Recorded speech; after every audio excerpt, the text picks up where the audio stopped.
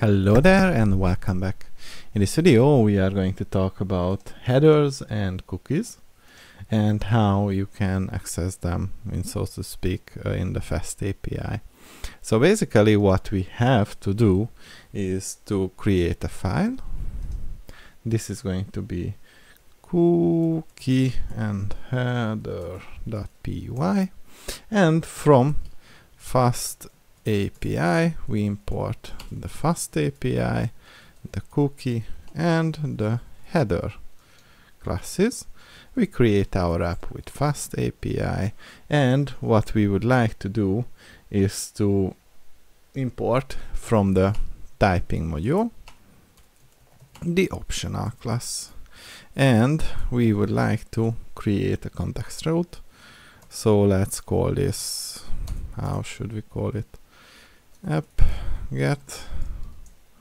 Let's make it the index context route.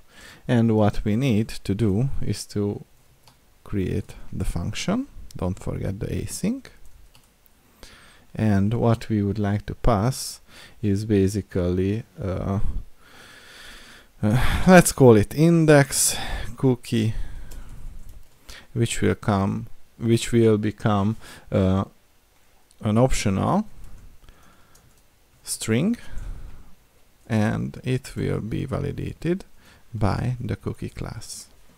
And what we can and should do is to create our header, so index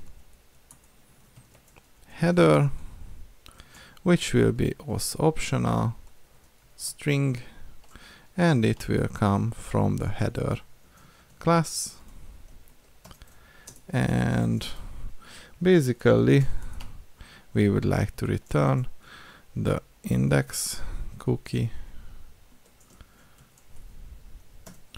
and the index header. Sorry header.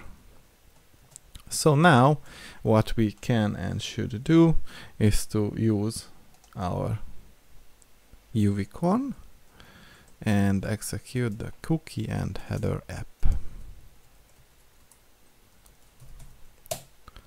So now if we go to our HTTP localhost 8000 and visit the docs, what you will see is that we have a default context route and as you can see we have the index header and the index cookie and we can try this out and basically set the header to header and the cookie to cookie and execute it.